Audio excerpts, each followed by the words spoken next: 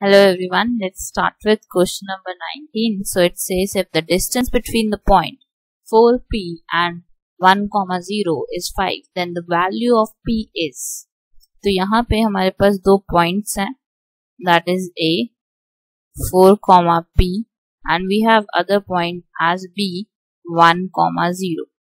अब जो उसके बीच का डिस्टेंस है वो तो हमें दिया हुआ है दैट इज़ 5 और हमें p की वैल्यू यहाँ पे अननोन है तो आप क्या यूज़ करोगे? डिस्टेंस फॉर्मूला यूज़ करोगे? Distance is x two minus x one whole square plus y two minus y one whole square अब डी की वैल्यू कितनी है? फाइव है। This is given to us x two is one x one is four so one minus four whole square plus zero minus p whole square तो one minus four कितना हो गया? Minus three हो गया। Minus three का square कितना हो गया? नाइन प्लस माइनस पी का square so p square.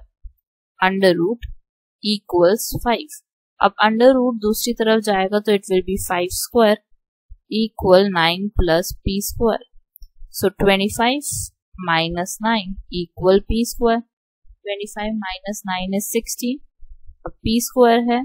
तो आप क्या करोगे? स्क्वायर को दूसरी तरफ़ लेकर जाओगे it will be under root sixteen as p तो पी की वैल्यू दो आ जाएँगे हमारे पास, यहाँ पे plus minus four so this verifies that p can take either plus four value और minus four value so the answer is b part thank you for watching this please like share and subscribe to our channel